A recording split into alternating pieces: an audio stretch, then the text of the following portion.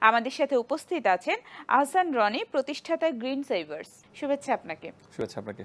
একটি গাছ যখন আমরা মাটিতে লাগাই, তখন কিন্তু গাছের শেকড় তার চারপাশে বিভিন্ন জায়গা থেকে খাবার নিতে পারে। কিন্তু যখন আমরা একটি গাছকে টবে লাগিয়ে দিই, তখন কিন্তু আমরা তার জন্য খাবারটাকে ফিক্স করে দিই আসলে।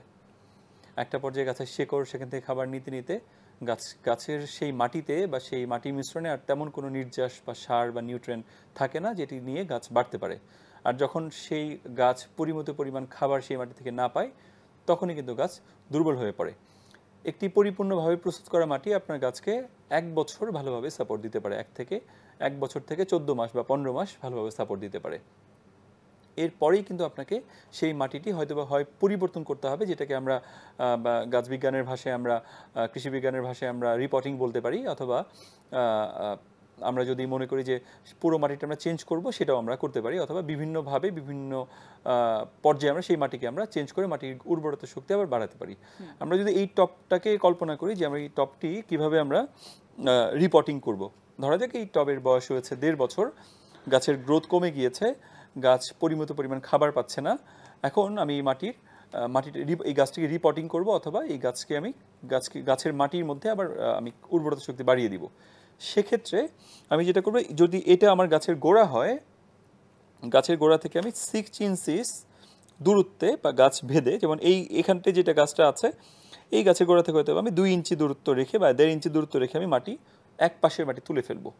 আমি যদি এই গাছটাকে চারটা ভাগে ভাগ করি চারটা ভাগে যদি টপটাকে আমরা ভাগ করি আমি প্রথমে পার্ট ওয়ান একটা সার্কেল এই টপ প্রত্যেকটা টপ বা ড্রাম তো একটা সার্কেল সার্কেলকে যদি আমি চারটা ভাগে ভাগ করি তাহলে আমি চারটা ত্রিভুজ পাবো ধরা যাক।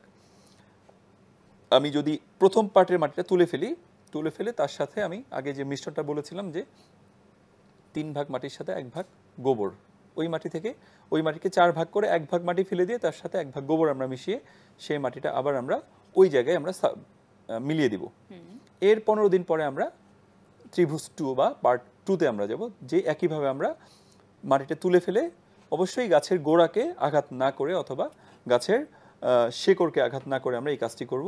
একইভাবে পার্ট থ্রি পার্ট ফোর আর যদি বড় ড্রাম হয়, সেক্ষেত্রে আপনি অর্ধেক করে করতে পারেন। প্রথম পনেরো দিনে আপনি অর্ধেক মাটি তুলে ফেলেন, এক পাশের মাটি গাছকে কোনো ক্ষতি না করে করে এবং পরবর্তী পার্টে আপনি বাকি অর্ধেক মাটি তুলে ফেললেন, গাছের কোনো ক্ষতি না করে তুলে ফেলে। তার সাথে আপনি সার অথবা গোবর বা কম্পোস্ট এগুলো মিশিয়ে মাটিকে আবার আপনি উর্বর করে আপনি সেই নতুনভাবে মাটি আপনি স্থাপন করলেন।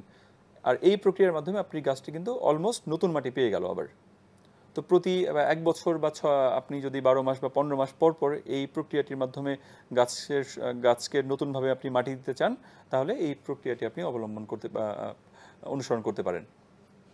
এর ফলে আপনার গাছের বৃদ্ধি ডেফিনেটলি অনেক গুণে বেড়ে যাবে এবং ফলও অনেক বেড়ে যাবে। অনেকের একটা কমন প্রশ্ন আছে যে গাছ কিনেছিলাম প্রথম এক দুই বছর দেড় বছর ভালোই ফলন দিয়েছে এখন ফলন কমে গিয়েছে।